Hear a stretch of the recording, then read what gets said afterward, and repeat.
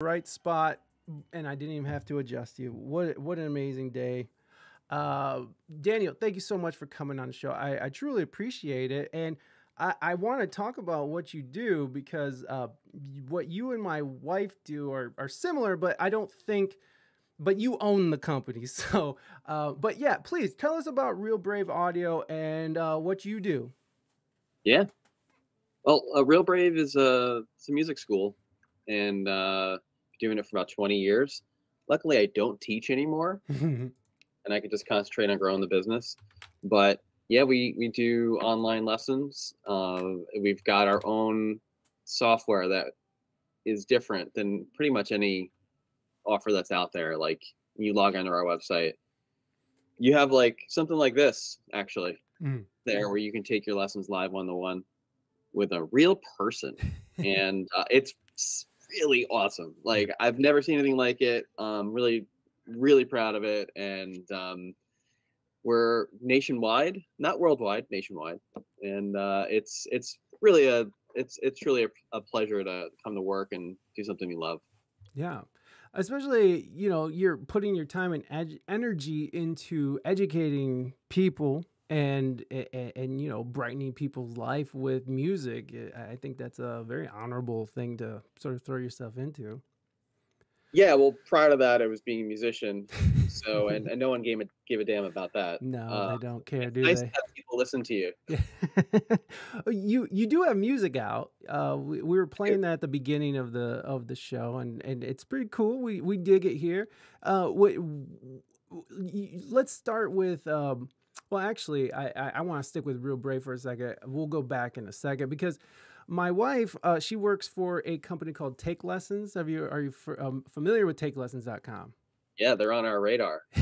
yes, they, they as they should, right? Because uh, they have a similar thing going on. Have you looked into the company at all? Do you know much about them? Oh yeah, oh yeah, I know all about them. of uh, course. no, when you say your wife works for them, you mean that she's a teacher or she works for the company? I'm sorry. I should actually rephrase that. She's actually a partner with takelessons.com. She uh, she teaches on the platform, but she also writes curriculum and she she's been um, she's been part of their like ad campaigns where like you could buy a ukulele and because my wife teaches voice lessons and ukulele uh, which is very popular, as you know. Um, uh, and and in the box on the tag is like um, get free lessons with take lessons, and it's her face playing a ukulele. So she's very very involved in the company. But um, after uh, Microsoft uh, acquired the company, yeah. she's kind of taking a, kind of taking a step back because it's a monolith company now and it's it, and i'm not here to disparage take lessons at all because it's it's been good to our family it's been good to my wife but what are some like fundamental differences that separate a company like take lessons and a company like real brave that's offering similar services? That's uh, that's such a great question and I, i'm so psyched that there's this synergy hmm. because you're going to kind of understand what i'm saying uh, potentially right? Mm, absolutely. Uh, and congrats on the. I mean, the buyout's huge. Yeah, well, I mean, we didn't get any of that, so. oh well, right out loud. we didn't. We didn't get none of that, but but she. But again, they've been nice. They've been good to us. Okay. the fundamental difference between a big corporation trying to teach the masses mm. is the individualized uh, attention. Um, so it's one thing. Now your your wife aside, right? But let's say they take lessons must have thousands of teachers. Right. And um, most of those instructors, after doing this for 20 years, are well meaning, but self focused. So when they go to the site, they're not going to utilize all the tools that they have on the Take Lessons um, software. Mm. And they're going to leverage like what they know. And, you know, sometimes in an online setting, that'll work, sometimes not actually i would say more times not and that's just my experience talking.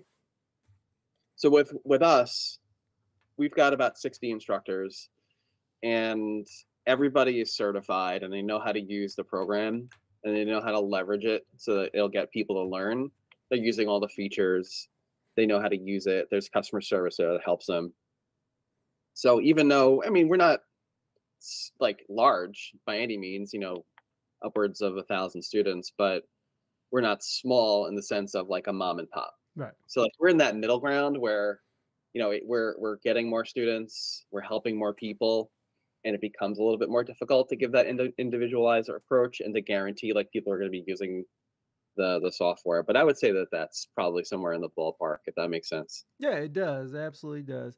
And actually, to sort of uh, to sort of tag onto that, you you they do have a core curriculum again, which my wife wrote uh, the voice voice curriculum for. But what I did notice once they started opening the floodgates and, and expanding the company is that they allow anybody to teach on the platform. And when I mean anybody, I mean anybody. Anybody. and so again, Yeah. I'm not trying to disparage take lessons because again, they're they're a great company and they've been good to my family. ahead. But disparage. Let's do it.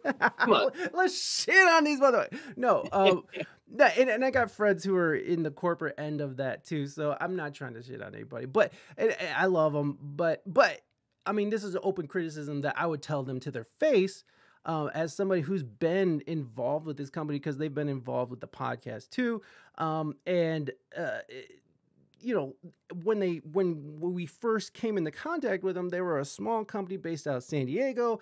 Uh, my wife knew the the ceo and had a personal relationship with uh, you know everybody.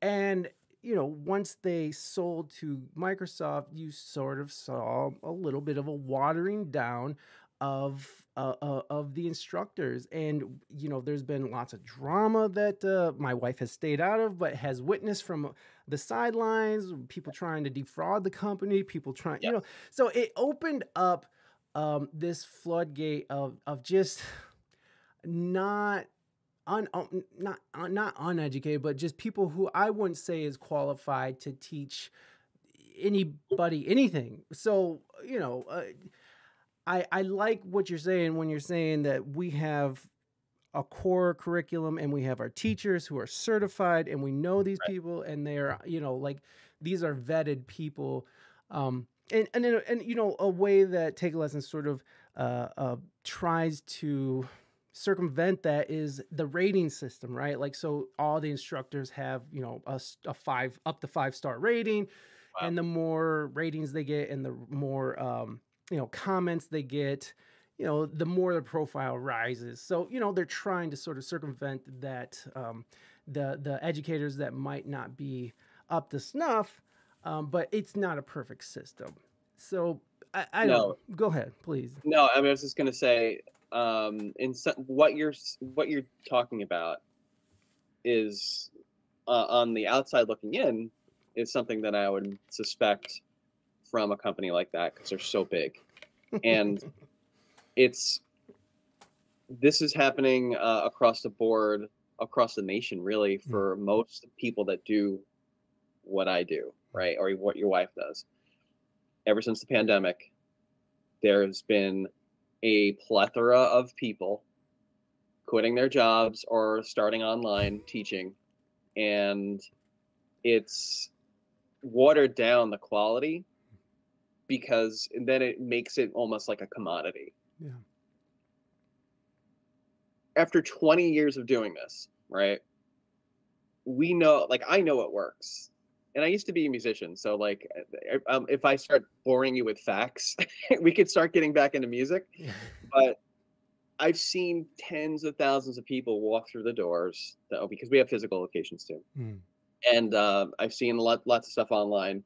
You cannot replace uh, quality with like a five star metric. Mm. Quality comes from actual results, and I would bet I'm not a betting person, but I would bet a lot of the people that take lessons with take lessons or any online service don't they don't stay very long they probably stay a month on average Hmm. and we're seeing six months on average wow and that's down from three years ago which was a year plus so like retention is actually one of the biggest issues right now i think in a lot of different industries and um, it, it would have to do with the quality of the lessons. Your your wife is probably phenomenal, Hmm. right? So they've they've got this top tier lesson talent, Mm. and then now they're letting in everybody. Well, that's going to muddy the waters. And if for anybody out there that's listening, you're looking to take online lessons, I mean, don't just take it from me. Like, do your research, but don't look at the five star rating as everything because you really have to see the quality of the content and you want to see how they leverage an online lesson. That's why we built this platform because it's made for online lessons. So like, it's it's way more intuitive than you think. Uh, but teaching online is not intuitive. Yeah. Well, yeah, there that that is a challenge, right? Like that. What what were some of the challenges? Because I, I'm guessing that you guys switched during the pandemic from in person to online. Um, I'm just assuming, but I don't I don't like That's to assume. that's a correct assumption. Yeah. Okay, and then um, so ah shit, I lost my train of thought. That was stupid. Uh, No, no, we were. we're going somewhere with this. Um, I, I I literally forgot what I was gonna say. That's okay. We were on the, the verge of massive growth in 2019. Okay. When I say massive, like you know, for a, a schmuck from Queens, New York, uh, to open another location with an investor, massive. Like, I don't have a college degree. Again, schmuck from Queens, New York. Uh, I got uh, some, some money from an investor, and they we wanted to open ten locations. I opened my own separate location outside uh, of the one we currently have. So we had three locations in 2019. I was set for ten more, actually nine more, nine more to open. Pandemic hits, and ironically, it was kind of a blessing in disguise because I wasn't as happy as you'd think I'd be. Like when you know all the stories about people, they get the money for like a, an investment, and then they open like their dream business, and it's all like you look at the social media, they're having like a great time. No, it sucked, man. it was a lot of work. Yeah. And I was not happy. And when the when March of 2020 hit, and I saw the writing on the wall, and I was like, you know what? I can't live my life like this. We need to ch- switch gears. So, um, you know, it, it wasn't a blessing back then because it was still very stressful. But seeing how online required um, less money up front, I'll put it to you like this: like take lessons. I'm sure they use like Amazon for their or like some sort of online service. Hmm. It costs me seventy dollars to put a, a student in a seat in a location. It cost me one dollar put a seat online. Hmm. That's how significant wow. uh, the, the cost difference is. So I was like, when I saw that, and I saw a couple markets opening up, such as like the homeschool market and uh, some new kind of online virtual school markets. It's like, man, this could, this could actually work, and so far it is. Yeah. And then so what were the the challenges that you saw switching from physical in person lessons to a platform, you know, an online platform? What was some of the challenges of um, you know, with actually communicating and uh, you know and educating your students um to yeah, well let's just start there. What Yeah, some it's still happening. It's education of your staff yeah. on how to use the tools. Mhm. uh, we've got we built like a scoring system, not like a star scoring system like the take lessons thing you're talking about, but like Right. really intuitive and that in that intuitive is the wrong word. Um, thorough scoring of how like people that work here use the site. And in the beginning, it was like they would log on for the lesson, and then they wouldn't use any of the tools Mm. we train them, we coach them, we train them, we coach them. We, like we constantly do it. We'd have months where we would like go through another training round. Um, but it's amazing how people don't follow rules. Uh, so we had to go back to the drawing board. We built this this system and weekly meetings, and now everybody uses it about eighty percent Mm. you know it's not perfect but I, I I'm- i'm telling you man like if if i were to get into like the the offices of some of these companies to find out whether or not people actually use their systems i i would be shocked if they had 80% usage i really would Yeah, I- and um, y- you know, I, I could definitely probably uh, confirm that just just by knowing and knowing like you know the insider baseball of what's kind of going on over there. Just uh, Yeah. It, it, you know, it, again, we're not talking about people who've been highly trained. Uh, we're talking about people who all of a sudden said, I know how to, I know yoga. I'm just going to start teaching yoga. And then, you know, here they are teaching yoga on this online platform. And who knows if people are getting hurt at home? Who knows if they have the right technique? Who knows any of that crap? They're just doing them. And, and so, yeah, it, it has kind of gotten watered down and it is, it, is uh, there are some issues, but uh, yeah, it, it's good to see that you guys are, are very focused on, um, you know, making sure that whenever a student log, logs on, they're at least in front of somebody who knows the platform that they're using because that's important, right? And then also is is uh, you know trained and educated to educate others, eh, which is is huge. Um, and I imagine that's kind of a, a hard thing to manage on its own uh, to to train people? Are, are, you you do like Skype trainings or however you guys do it, or is it a lot of in person? How do you manage that? Since we have the physical locations, we'll have meetings. Mm-hmm. Um, we don't have anybody working from home right now, mm-hmm. so everybody's uh, in at the studio working. Uh, That's a whole separate story. That was very difficult to get people to come back to I work. it was unbelievably difficult. I was, you know, you ever heard of the um, that whole uh, I forget what they call it, but the um, the employee like mass like leaving of jobs in the 2020 yes. 2021 year. Yes.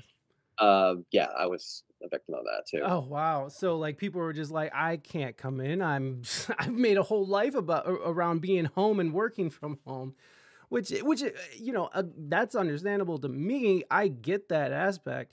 Um, but you know, you, you even the you know even you know saw Twitter before Elon came through. You saw Microsoft. You saw and it's still a problem, right? Like these huge top tier. Uh, yeah. Fortune 500 companies are are still dealing with it.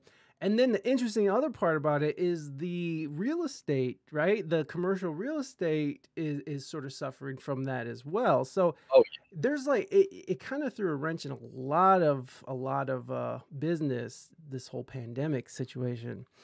Uh yeah, uh, I, I don't know where you're located, but we're in the New Jersey, New York area, and uh, uh, where where are you guys located? I'm in Toledo, Ohio. Oh yeah, you're in the middle, smack middle of America. You're right yeah, in that that that ass crack of America right there. Yeah, yeah, just the deep in that ass crack of America. I, I I actually moved back from well, I moved back here. I grew up here, but I actually lived in San Diego for about 15 years, and that's where I met my wife, and that's how she got involved with take lessons, and we got involved with take lessons and such. So. Uh-huh. So it, coming back here was uh was quite a change, but uh, yeah, I was out in Cincinnati um, for the online thing that we do and mm. uh, promoting it and like it's it's it was I like Cincinnati. yeah, cool. Cincy's beautiful. Eh, I like Cincinnati too. I'm not a fan of Toledo, but you know, home is home is a state of mind, I guess. That's that's so funny. um, yeah, I mean, like I don't I don't know how. I'm sorry, like I derailed that, but um. I I I wanted to get back to the uh the the format like online lessons and like and like getting people to use it. Sure. I was reading this thing about Jeff Bezos uh, recently. It's he's got a new book out, um, and Walter Isaacson, who did the Elon Musk um, profile uh, and uh, biography, did the the foreword, and he talked about how um, say what you want about Bezos, like we could have a conversation, good, bad, and different. But I was shocked. I didn't know this. He started. I knew he started the company in his garage, and I knew he got a hundred thousand dollar loan from his parents, who weren't necessarily rich at the time and some of his own money. But in the very beginning, they would pack all the stuff themselves. Hmm. And they would be on the floor, you know, packing, packing, packing, sending stuff out. And what that did is it created a culture of um, making sure that every customer was taken care of in a very, like, very specific way. And over the years, that has gotten lost hmm. because the company has gotten so massive. Now, they have the same uh, they call it like a value set. Like when you have a company, you have a value set and the same values. And from the corporate point of view, yeah, like, yeah, you want to make sure every single customer is taken care of. But then they're forgetting, like, way down the line, there's people making $22 an hour, working 60 hours a week, you know, struggling. Right. So uh, my point is, is that in a company like Take Lessons, School of Rock, uh, School of Rock is more of a franchise, but they th- it's hard to keep those values going Yeah. uh, because you've got investors and bottom line people that it's just looking at those numbers. Uh, so we're in a good situation, I think, for growth. Like we're still small enough to to figure this out, and there's millions of people that are looking to learn, online, um, and we've got we've got a, a not a stranglehold, but like you know we've got our eyes on every lesson room, and we understand like what needs to happen to to really help people. I mean, that's what it comes down to. Like, there's nothing better than seeing somebody like learn how to play. Yeah, absolutely. Responsible for it. Yeah, yeah, I agree, man. It's a it, it, seems fulfilling, and um, you know, like it, it seems like you would be open to expand and take in investors. Um, how would you handle that? How would you try to? How would you maintain? I I, I know it's hard, almost impossible to answer, but it, it No, it's I can answer it. Okay. Well, I mean, how would you maintain, you know, growth and exponential growth, but also try to maintain those core values, which Amazon has seemingly lost? Um, Yeah, yeah. I mean, you can argue that they've they've lost some of that because Mhm. they've lost their people. Yeah. Uh, it, it it comes down to um, community, and I know that that's corny, but like it really It's is truly. You you've got to have people that believe in what you do. I do. and um, if you uh, once you once that community stops at a certain level and people don't believe in what you're doing and they're just like there for a paycheck that becomes a barrier for growth so like Mm. we're so dependent on instructors it would be difficult for us uh, at our like if we didn't have money like we would need money in order to scale like Mm. that would be a thing now getting money is a different story because then you're in bed with all those people and they're all you know farting under the covers Yeah. so uh, yeah. Cooks in the kitchen, man. yeah man too many cooks in the kitchen um the, the guys that uh, helped invest if they you know they're they're wonderful people Mhm. and um, but like yeah you're diff- there's different values there and you have to make sure that the people if you get microsoft in on your investment what's the bottom line well it's going to be growth Yeah. and you're going to sacrifice probably from like a customer service point of view and a quality point of view they got like they got a ton of money man like um take lessons it wasn't like it wasn't a couple bucks it was Oh yeah. serious venture cash. Like that Mhm. was money, like FU money to grow as much as they could, and they dominate the market. Yeah. And that's what they did. They're top in all searches. They're top in all uh, social as far as like categories, as far as like you know uh, pushing some content out there, and it's it's significant. But like to bring it back to our level and to anybody else out there that's trying to do this, you have a, a core management team that believes in what you're doing staying consistent because i always believe that consistency is power uh, consistent on your message and like consistent on management and consistent on hiring hiring the, the quality and caliber people that are are great um, and the list goes on and on but it's it's that kind of stuff that i'm talking about Do you contract uh, your employees or do they work? No.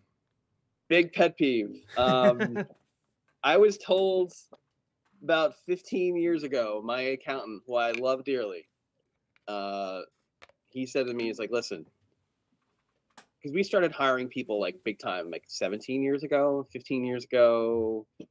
It was starting to get up there. Like we would, I was still teaching then.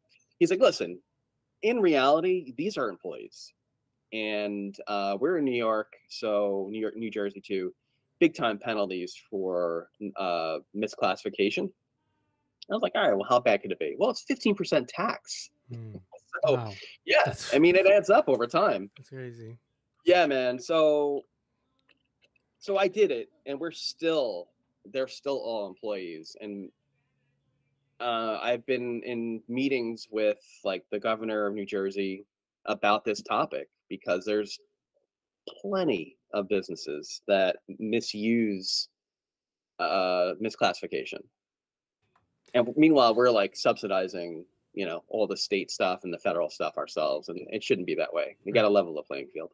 Yeah, well, well, that's a that's a whole other thing. No, I, I I like that, man. I like that you're not, you know, that that you actually employ your people and, and you offer insurance. I, I imagine. We can, You but can. the the thing is, it's going to be so expensive. Right. So like when we do a, a cost comparison, if someone's making six hundred dollars a week, believe it or not, in some cases can still apply for the state uh, benefits Mm. and get a better deal Wow. than what we would offer on a private plan. Right. Um, I've never seen a situation where it's been that way. Like we have better rates. Like it's it's always like there's people that are making twenty five thousand because they're working part time, you know, and they've got maybe another job or they're like a you know a musician. Hmm. They make twenty five thousand working fifteen hours a week, and yeah, like they'll get benefits through the state program that are like killer, man. Yeah. Like I could never get that type of stuff. Their their, their payments like fifteen dollars a month. Mm, Their copays are zero. zero, It's No, like, yeah. I mean, here's the thing too. I mean, if you're working at Real Brave Audio part time and you are also basically a contractor who's playing out in music, there's no reason that you're not you're not filing your own taxes and, and you're not writing stuff off where Yeah. you can actually put yourself in that tax bracket to qualify for free healthcare. oh yeah. And, and you know, like I mean, and, and that's and we're talking about you know like that's across the board for anybody like working at Uber, anything like that. You can control a lot of you know. Now, now if you want to get a loan for a house, you know you might have to you might have to give up your insurance, but um, you know it, for people who are who Yeah. are going and struggling and trying to figure this shit out and especially trying to get health insurance there's ways of doing that. And- you can have a job at real brave audio or target even and if you're a contractor and and, and you know like you can write shit off. So to make sure you take advantage of these tax laws that people do on every level. Billionaires are doing this on a, a crazy level that you can't even imagine. So it's like for people to understand uh, uh, how their money works for them is such a huge part of uh, this business because music is wonderful, but it's also a business. It's not just like, hey, I'm gonna go rock out and bang chicks and do drugs. It's like, I gotta book this shit. I gotta manage this money. I gotta make sure I'm paying the taxes that I owe because you don't want to be in debt to the IRS. But no, you don't. um, No, that's that's a big no no. but Definitely don't want that. I, I mean, you know, these are all things that if, you are a musician working in that that that set of you know, if you are a musician working as a private contractor, you should be taking advantage of all the the, the things that are available to you. Um, so uh, yeah, realbraveaudio.com, guys. I'm gonna drop all the links in the chat for you guys to go and follow Daniel here. Um, come on, stupid. Not you, me. Um, there you go. I dropped in chat, and if you're listening on the audio end, make sure you go into the show notes and click on the links available. Is realbraveaudio.com, Instagram and Twitter, and all that good stuff. You do other things too, right? Like you do like business. Um, what is it? Business, not business management. What what do you do? Like you do like um, teach people. Yeah, like business development. Yeah, Yes, I mean, I can you. help uh, coaching. I've I've done that before. Mhm. Um, right now, my focus is on our YouTube channel. oh, Um, tremendous amount of work. Uh, I'm assu- I'm assuming you know what I'm talking about to build a YouTube channel. Oh, Real yeah. Brave. Um, it's uh, YouTube.com slash Real Brave Inc. oh, real And uh, one of the hardest things I've ever done in my life is to build a social presence. it is tough.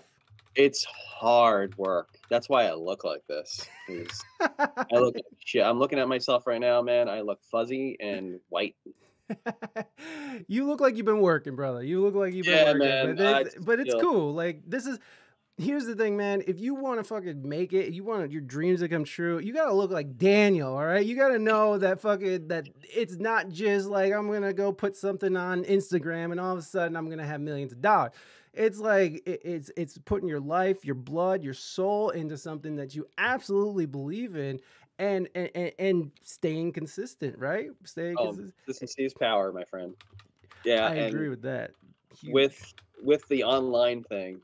So yeah, I mean, like yeah, I have eh, the personal stuff, the personal brand. Like I do a lot of uh, social tweets and get my LinkedIn and all that. It's it's it's a long term vision for that, just to kind of do courses and whatnot.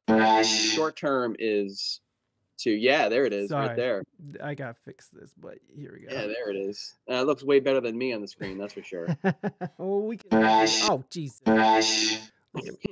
Oh my God. Oh, that's great. It was a really good close up of your face. yeah. Everybody wants to see that. Oh God, I'm back. There he is. There he is. But yeah, well, and here's the thing: you you got 300, uh, 3,000, uh, you know, over three thousand subs, which is not easy. And you're just saying that this is not easy to do. Um, I I know that from experience. I I have I think I have like four point five thousand subs, but it's been years of an investment of time Right. and effort. So and I don't think people realize like this is not an overnight thing. Like that one video, the Led Zeppelin video, I was psyched for that video, and it got it actually has 400 views. I don't know why it's saying 233, Oh. but that thing took seven hours to edit, an hour to film, and um, you know the research behind it because it's it's all like true stuff about bands and there's a whole movement Oh. there's a couple of really big accounts that do this and my theory behind this is let's let's build an audience Mhm. um if we had let's just shoot for the moon you know like a million subscribers one to two to three percent of those would be interested in buying lessons from us you know absolutely, absolutely. it's, it's totally doable we so we do our shorts have actually been doing better Yeah. um, the shorts like are really easy for those out there that are looking to, to start like a YouTube channel. Shorts are a really great way to get into this stuff. Um, you can't just like sign in. You really got to produce it. But um, these some of these videos have gotten 250,000 views, Yeah. which is crazy. Yeah. And um, uh, for whatever reason, there's a huge metal audience on YouTube. Nobody would ever know that Oh, unless yeah. you got on there. Math like people metal, arguing about Metallica is the funniest thing I've ever seen. The, no, no, yeah, the the the the amount of nerdum that exists in the metal, math, especially math metal, is is crazy. It's crazy. Yeah. People just love it. It's hip hop and metal. I see a lot of uh, a lot of uh, uh, energy behind, and I do really well when I put stuff about the hip hop uh, hip hop community because the way that I, I I've sort of started growing my YouTube my socials was I started covering music news because the podcast has always been let's talk to musicians let's talk about whatever and and you know have fun and just have a conversation. Um, but then it started to expand into uh, you know understanding the music industry and also you know what's going on into it. So like right now we like right before you came on we're actually covering the new york adult um, uh, uh, survivors act which uh, I don't know if you're familiar with that or if you've been paying attention to the news lately, but there's been a lot of high profile musicians and celebrities uh, having sexual assault lawsuits, uh, civil lawsuits brought against them in New York because of this adult uh, survivors act. So please, Yeah, it's that look back period went over Yes. like 20 years, Mm. right? That's what Oh. they did. Yeah. yeah, it's yeah, like- Axl Rose, right? It Wasn't he Yes. just Yeah. yeah, that one was pretty rough too. We It's yeah, I mean like I've I known people that have that have been abused. Like I get why we're doing it. It's just like it's frustrating to hear that stuff. I have a son and we're scared for him a little bit. Yeah. He's a good kid and like if, if he I know somebody um not too much older than him that has gotten accused. Uh, we want to take care of our young girls. We want to take care of all our women. But god damn it, man. I mean, sometimes you gotta let boys be boys, and it's like I, it's, it's it's like he's he's just being a kid, you know. We're scared for him sometimes. Not in like a s- like any like thing that he's done wrong, right. but in the sense that everybody's so sensitive. Oh, oh yeah, yeah, yeah. The the no, we we should we should all over this cancel culture stuff. Um, Okay. that well, that's why we're on Kick. We were on Twitch, and Twitch is a very very sensitive platform. Just oh, so oh, is it really? it, they're just so fuck. They're just so soft over there, man. It's just you can't say anything that goes against the narrative without them trying to take you down.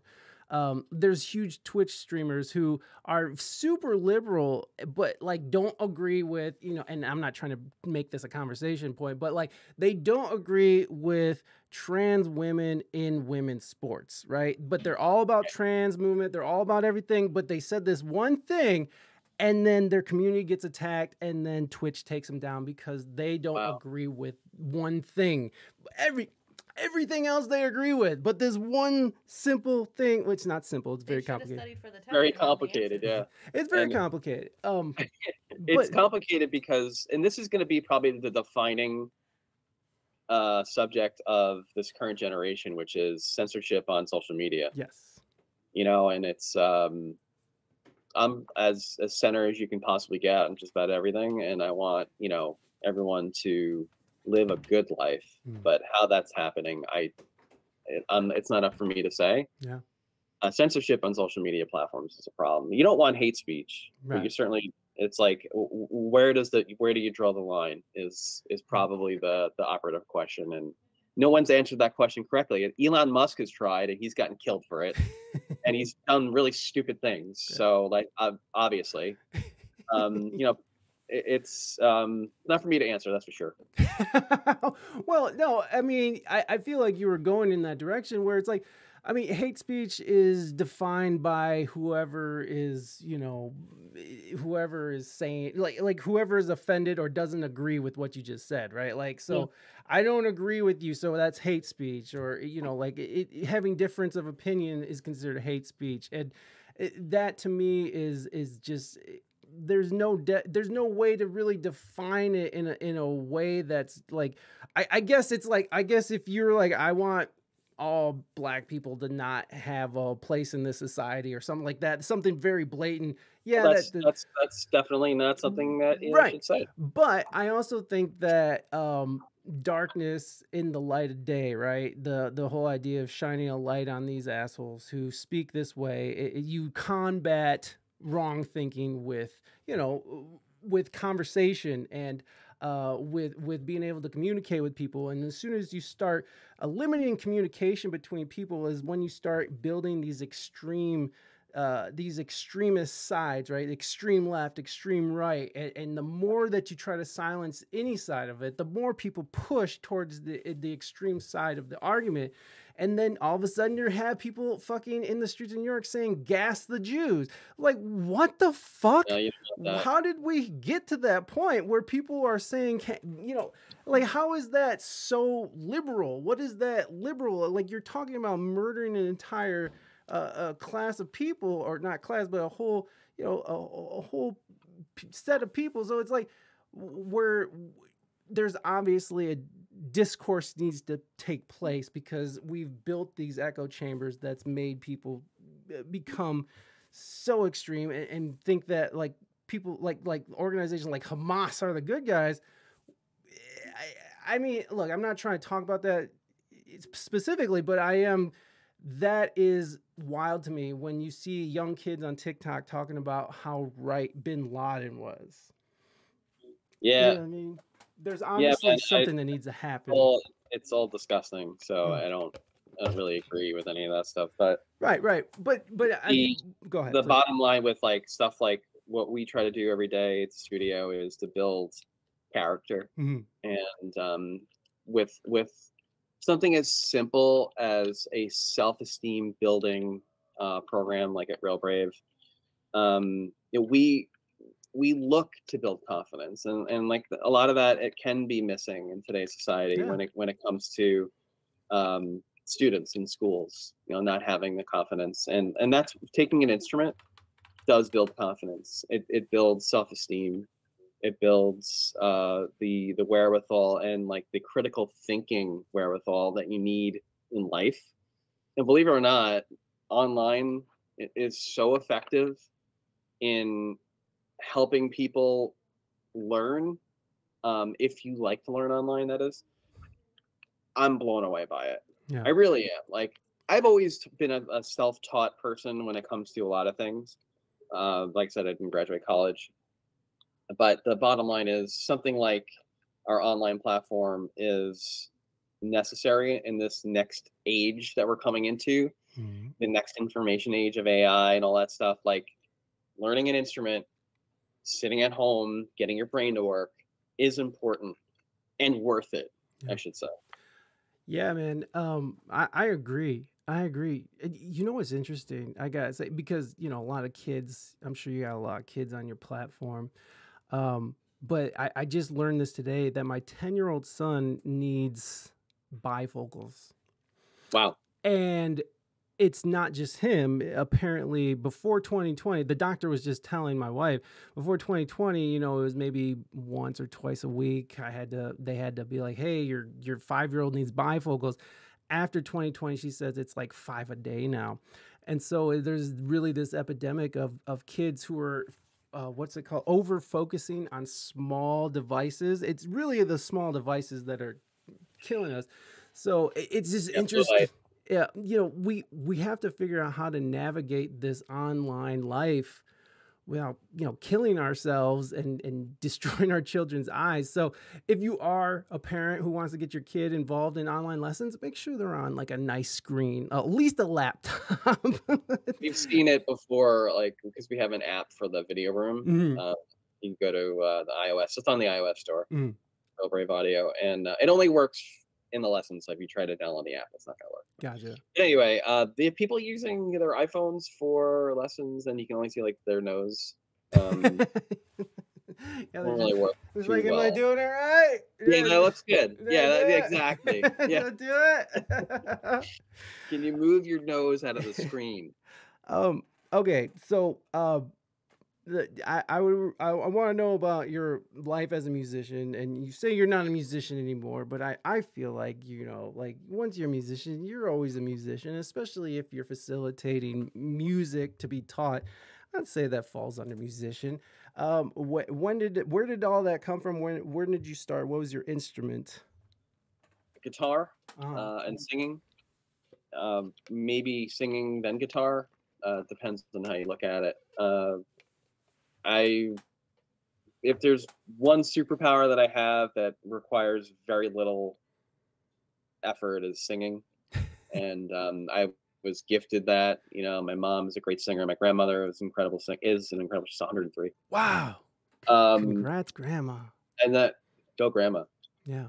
yeah so it was um it was an outlet for me to to talk about you know to just sing songs and then i uh, my guitar teacher at the time taught me how to write a song and that became a thing my parents divorced and i remember one of the things my dad really liked about um, my guitar playing was me writing songs uh, i devoured my father's record collection and you know i was always singing like the beatles and the Eagles, all these like old classic songs. And when I started writing my own tunes, he gave me the, and my mom gave me the kind of the confidence. Like uh, that's another key word, right? Right.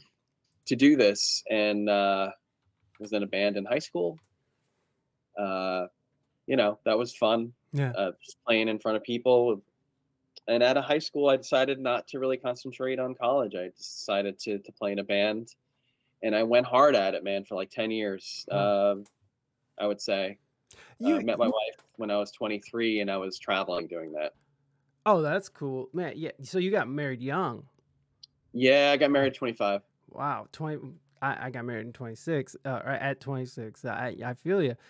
Uh, so what? How far did you get with the band? Like, where where were you? Were you playing? Uh, what kind of venues? What kind of markets? Um, were you guys? Did you guys? You know, put out music that was well received. How how did that go? Yeah, I don't I don't even know how to answer that. We were we did a played a ton in Manhattan. Mm. Um, we had a we quit our jobs in uh, 1998 Oh, wow. and we started we traveled we moved to Rhode Island to um, we got this like record deal.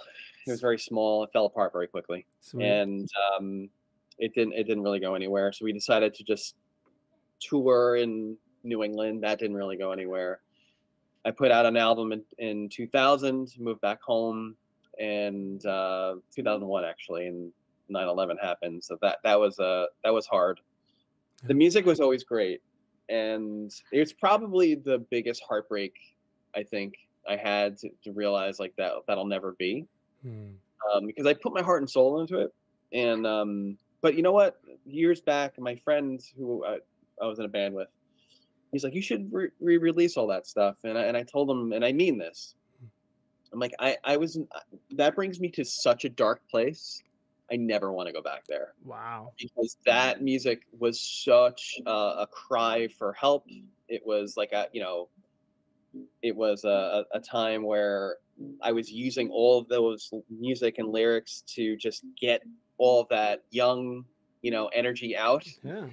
And to go back to that, I would want to feel that over again. And to feel that over again, I would it would be difficult because it's hmm. very intense stuff. It was like the end was like a cross between uh, Jeff Buckley and Muse meets like you two. Oh, like cool. it was very, very like melodic, but like rocking and hard and like ballads. Yeah. yeah, yeah, yeah. Well, I mean, yeah, I would never want to go back to it. If I did it, it would be on my own terms, like down the road.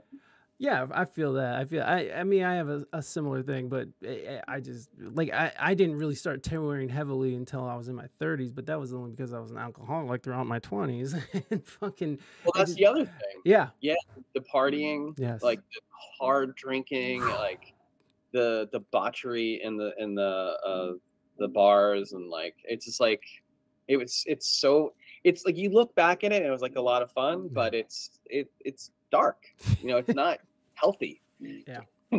no, it's not. It's not healthy to to live in a van with a bunch of dudes and then sleeping rarely and eating like shit and Yeah. and driving fucking 15 hours to the venue and then have to set up and play and then set down tear down and then have to make it to the next show by next day. It- it's just it's not a healthy lifestyle, especially if you're an independent artist, which I assume that's what you guys were doing as independent artists Yeah, traveling right. around sniffing each other's farts in the van. So it's like Yeah. it's not a it's it, it's a rough fucking ticket, man. And, and to make none or be in debt or or to make like you know a hundred bucks after you know a few weeks of work or something. It's a, Yeah, it's I want nothing to do with that, and I also want nothing to do with moving equipment. I had to move a, I had to move a speaker from my house to to my office. yeah. And I took it out of my. I was like, oh man, I had to walk back to my car. I, I pick up the speaker. It's like a thousand pounds. You know, it's like a, an old monitor, Yeah.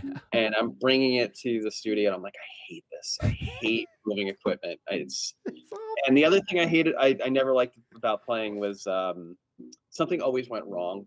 And I had this this theory that there's uh, wire gremlins that exist. Yeah. And I'm serious, man. They exist because even when we do the podcast, because we have a pod, you know, that's the part of the YouTube channel Mm, um, something always goes wrong, and it's always a wire. yeah. It's always a wire. So in the middle of the night, we'll set everything up, and then we get back the next day, and the and then you check one of the wires, and it doesn't work. You throw it out. It's the wire gremlins. They're The wire fucking gremlins. They're just out to fucking ruin your gig. Worst. uh, no, it, it's so true. You're just, it, or, or or like showing up at a venue and they don't have a fucking uh, a PA or something. Just like any kind of weird shit, or a flat tire, or or just lifting equipment, unloading a van at like three thirty in the morning when it's Yeah. negative twenty degrees wind wind chill. It's like no. No, we yeah we played CBGBs right at the end. It was like a Sunday night Wow. at like eleven o'clock, and my mom was there. You know, it's like, and she was the only one that was there. And you know how embarrassing that is. That sounds pretty punk rock to me, guys baby. played CBs? Yeah, man, it was great. Thanks for coming. oh, that's it. That's indie as it gets. Uh, yeah, yeah. so uh so what what started the change from like a, being a you know working musician to uh you know start i mean because being a working musician is entrepreneur but but what started like you looking into other uh, avenues for money and and start you know on your journey to starting your own businesses I worked the day jobs. I Mm. had all the terrible bosses, all of them. yes And um, I just had it about 2003. I was like, never again. Wow. So I started teaching. Yeah. And through that, I bought um, some recording equipment and would record people in, in my apartment. and I just decided. I said to my wife, who was very supportive. I said, I want to do this. You know, we had a baby on the way. Why not start a business? Yeah. uh, but yeah, I mean, it worked. Uh, my mom supported us a little bit too. It helped in the beginning. We moved back into our house. And while Ava was growing up, we were there for two years and the business took off like Wow. in the beginning. Like I work seven days a week, but the, the idea was why not teach and make a living out of it? Uh, it seemed like a viable business model. And um, on the side, I was recording tons of hip hop artists. I never want to record hip hop ever again. Um, no, no, I love hip hop, yeah. but I never want to do that again. There's a couple times I feared for my life because I was like surrounded with people that, like one guy was like, "Oh man, I just got out of jail." I was like, "Awesome." Sick. My daughter's downstairs. Awesome. yeah, just- well, we were in the. I had rented a Right, studio, yeah, so, um, and then even like some of the bands that were coming in, like they they weren't great either. Like Right. they would run out and not pay me. um it, it was it was tough goings in the beginning and i remember the day it was 2008 uh, my second child was just born and I, I called my wife melissa and i was like listen i'm going to close the the recording part and just concentrate on the lessons Mm. and that, that's when the business started going like that Wow. because we had um you know a program and a viable business model you know recording all night i'm sure you know this Mm. sucks Yeah. not- I don't like it at all. i don't want to do that ever again either um yeah. No, because it sounds great, right? Oh, you got your own studio, you know, like you're everybody's coming in, they're recording the shitty music. Yeah. I'm just kidding, everybody. It's your No. music's great. No, your music sucks. Uh, we needed the money. Uh, but no, it, it's a. I, I, I absolutely know what that is. I, I had the same sort of setup in San Diego. I had my own studio. My son was there. I actually ended up getting fired from my day job uh, right as our son was just born, and coming home to tell your wife you just got fired from your day job. Um, and now we have nothing, and now we got to figure it out, and rent's due. And we live in San Diego, three blocks from the beach. So we got shit to do. We break out the equipment. We had yard sales, but it was sort of a, a fire that was lit under my ass to start, you know, really uh, working and and doing doing what I'm doing what I'm supposed to be doing. So uh, yeah, I mean sometimes you just need a fire lit under your ass. But yeah, I, I understand that whole like recording thing and and I, I still write for people and I just got out of this project that I absolutely couldn't stand and I told my wife I'm not doing this anymore. I'm, I refuse to do this. I was doing Christian music, which I have nothing against Christians or Christian music.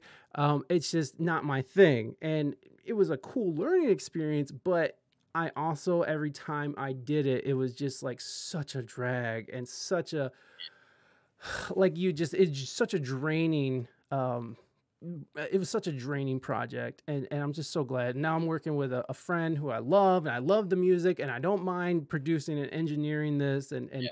doing it because it's fun for me I, I you know i'm done with fucking doing stuff that i don't like doing for money i'm done being a whore i, I don't want to do that i don't like Yeah. i don't pro- i don't like being a prostitute like that so Yeah. it took Yeah, me a while to figure that out, but it seems like I you figured it out that. quickly. It, it took a long time for me to figure that out. But like now, if people ask me, you know, they see there's a lot of stuff that goes on in the business that are is really super stressful. Um, but the bottom line is, uh, I love what I do. Yeah. I, there are moments when I'm like, I can't believe I get to do this for a living. And then there's other moments where I, I just want to jump out a window. But there's, but th- but there's way more times where I'm just like, I cannot believe, you know, Yeah. that I get to do this every single day, and I'm very grateful. I mean, like I get very emotional about it because I'm I'm just you know, growing up in Flushing, New York, and in a small house, and you know, my parents are working class people.